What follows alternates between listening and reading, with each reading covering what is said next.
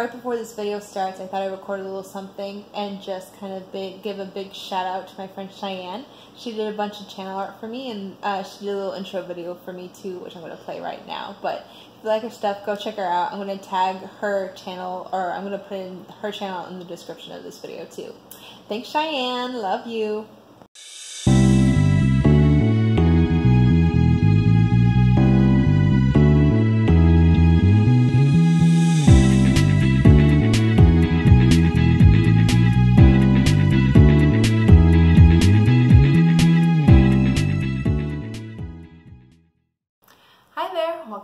To my channel. Uh, first and foremost, before the video starts, obviously I got a haircut. Um, I've been growing my hair out for the wedding and I've never had long hair and so it is like such a blessing for me to just chop it all off and do something like funky and edgy. So awesome. I know it doesn't match the nice channel art that Cheyenne did, but we're still going to be using it anyway because it's kind of who I am in my natural state, you know? Um, but today we're here to talk about something else. Um, this is another shopping video with me. So we're going to talk about um, Pokemon purses. And actually we will be talking about these that I got um, a really long, well, a really long time ago. They were a gift from my mother and you can tell that they're a couple years old because the um, the most recent Pokemon on there is like from Gen 6. I think it's Pumpkaboo. So you can tell it's kind of old, but I think you can still find it on Amazon if you really want that one. And I'll be posting a video of like just a panoramic shot of what everything looks like in there. Um, but today I thought we would do um, it's kind of like a little branding. I'm going to be looking at purchase from purses from Loungefly just because I feel like they're of really good quality. Um, they are slightly more expensive, but I think you know that purse is pretty old and it's just like brand new. Um, so I think it's really good quality, kind of like mimicking the last video about you know making sure it's like style and merch, but it's also substantive. So that's awesome. Um, we are just going to take a look on the Loungefly website, and here I am right now. Um, they do a bunch of different brands, not just Pokemon, but they have like an array of Disney items, um, Marvel, Star Wars, Harry Potter, um, Hello Kitty stuff too. But I'm just going to kind of show you how to do this. So if you want like a specific brand on their website, you literally just go to brands and you can pick the one that's listed right there. I have Pokemon, and you can see they have a banner set up and everything. Um, and it looks like the newest stuff they have is like taking some of the more like legendaries from Alola and putting them on like a backpack and wallet. There's one that's literally just like butterflies or butterfly Pokemon on there. Um, there's others for Detective Pikachu too, different Detective Pikachu merch, and this brand is interesting because they really cycle out product. So they kind of do things in seasons, and like once they put out something, it's going to be hard to find it later. So it, it, follows the whole trend of purses and how purses can be collectible items that, you know, um, increase their value with age. And um, especially if you're a collector out there, I know there's a ton of collectors for fan merch for different um, fandoms, but also this kind of bridges the gap between like people who collect purses for a living and people collect merch. So it's, it's a fun little intermix between like style and fandom, which again I think is kind of the overarching brand of this channel at least. Um, but still going on, uh, they have bags and wallets and backpacks, and these are kind of good too, especially if you have someone who um, is kind of like looking for their first bag bag or purse purse, but is also young enough to be really into certain fandoms. I mean, not necessarily young enough. There's plenty of adults who are still into um, Pokemon and everything else, but I think for parents who might be watching who might not really know how to help their kids transition from like uh, you know you know children's clothes and icons and graphic images to more adult themes this could be a good in-between step um, and a lot of their products it's interesting because they have a lot of brand partnerships as well and I'll show you some of them online um, but they have their own retail site, obviously, but they also sell in other stores. And the two that I kind of know of myself um, are in Box Lunch and Hot Topic, and we'll each look at a product that, you know, respectively for Box Lunch and Hot Topic that you can't really find on this website. Um, but of course, there's a duffel bag, and then this very this one I like. It's very like um, tattoo Americana kind of theme, and it looks like a lot of this product's to be on sale. I mean, that kind of makes sense since like the new Gen 8 games are going to be out in the fall, and there'll be more designs to look at, um, and more Pokemon to put on their products.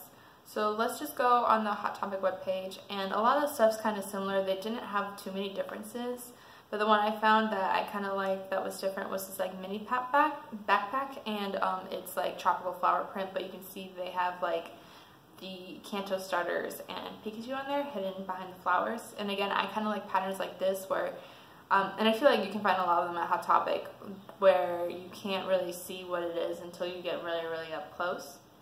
Um, so this is one of those instances too. And I think it's always helpful to like look at the inside if you can. So see, it looks like a denim material on the inside. So yeah, just a chill little mini backpack. Um, I'm thinking about doing like merch videos in the future for like Hot Topic specifically or you know Box Lunch specifically, like stuff they have outside this brand in future videos. So if you're interested in that, let me know. Um, I also thought I'd pull up Amazon, although I don't necessarily like to shop at Amazon too much just because kind of controversial, like a controversial website and brand for me.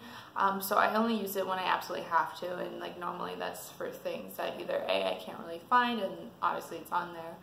Um, or like textbooks for school and stuff just because it's for me it tends to be one of the cheaper places and I know there's other websites that do student discounts too but I feel like Amazon's the most like convenient one um, but I really wanted to pull this purse out because I thought it was really cool and it kind of looks like mine um, but it is literally just I mean not in shape this is obviously a different shape but this is all the same sort of um, pattern design but with exclusively ghost Pokemon and this might be fun to give somebody who is a little bit edgier, um, who really likes ghost Pokemon in general, or maybe they see their favorite one on here. And the pattern's pretty repetitive, so like we saw um, Trevenant here, and then I think Trevenant's this in the corner here, so the pattern repeats. Um, but it kind of, for me, is like similar to how Dooney and Bourke's kind of doing things now. Like I've never been able to afford a Dooney and Bourke purse, period but they've really gotten have gotten more kitsch and they they do like repetitive patterns of like cutesy things. I know I think they have a Disney purse. I know they have a Cubs purse just because my mom's talked about wanting it forever. Um, but they're getting into kitsch. So this is kind of like a, the same sort of experience, but like at a discounted cost to what like a, a designer bag would be. And I, and I find it really, really interesting that a lot of designers now are really trying to pull in that sort of like, I don't know if it's younger and millennial or post-millennial nostalgia thing that's been happening with branding and marketing forever, trying to tap into that audience, but now even designers who are supposed to do like really chic and um, like chic, slim, modern, precise designs are really doing more kitsch and um, cartoony and they're really trying to sell to their audience and it's, I don't know, fashion's just interesting. If you want a whole video on my take on um, what's going on in the fashion world with like different demographics in the internet. I'll be sure to do a video on that too. Um, but this last one is Box Lunch, and I really, really like this store.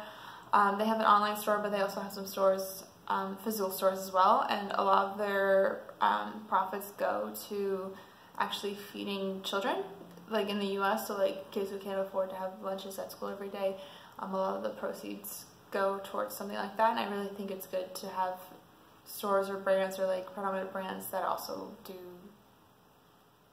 things like that where they're giving back to the community. At least that's important for me. It might not be important for everybody, but I like that. And I thought I would show you this one person, this one kind of like drawstring back bag, backpack thing um, that's on their site and it's on sale right now actually if you know you want to cop it for yourself, but it looks really, really cute. It's super pink, ice cream everywhere.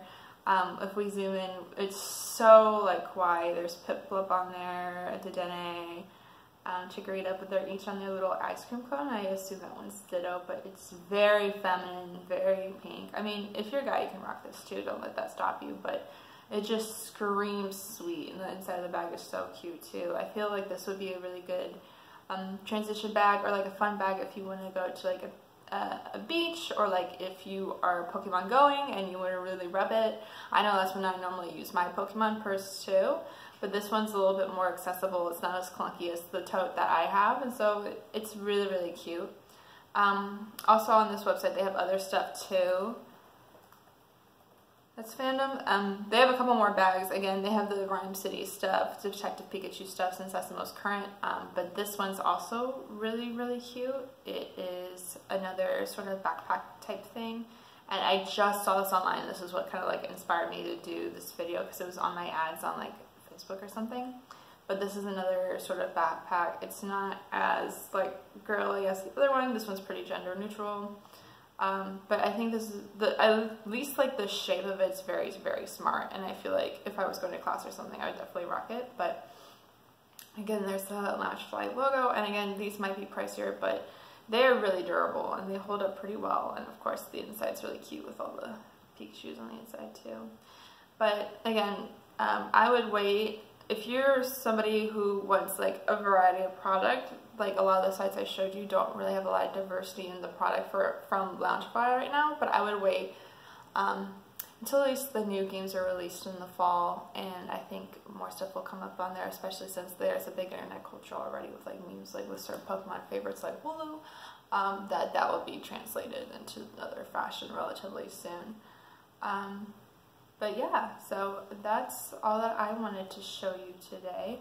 Um, I hope you really enjoyed this video. I know this one's a little bit more streamlined and quick, just another like little shop with me. We don't get to build our own backpack, unfortunately. That would be great. Um, but I will be linking all the websites and stuff that we looked at today in the description of this video. And um, let me know which ones are your favorites. Let me know which bags you liked. Let me know what you would like to see in a Pokemon merch bag. I know, like I mentioned before, I like subtlety. Um, but if you have any other thoughts or comments, feel free to share. Feel free to like, comment, share, and subscribe on this video. And I'll see you again next time. Okay, awesome. Thanks. Bye.